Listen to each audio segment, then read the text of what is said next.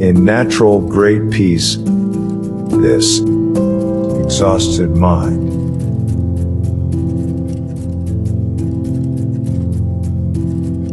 Beaten helplessly by karma and neurotic thoughts.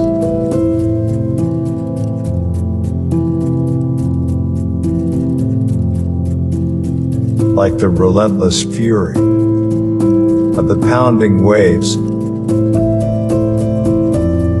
in the infinite ocean of samsara.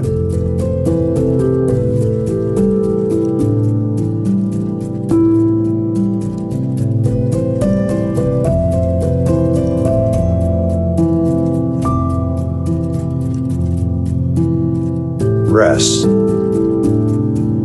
in natural great peace